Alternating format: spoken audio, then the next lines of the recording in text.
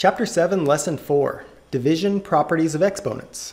The objectives of this lesson, to divide powers with the same base, and to raise a quotient to a power. The essential understanding, you can use properties of exponents to divide powers with the same base. Your Solve It for the lesson. A machine makes wooden dowels by removing material from a block of wood as shown in the diagram. What percent of the wood does the machine remove from the original piece of wood to form the dowel? Explain how you found your answer.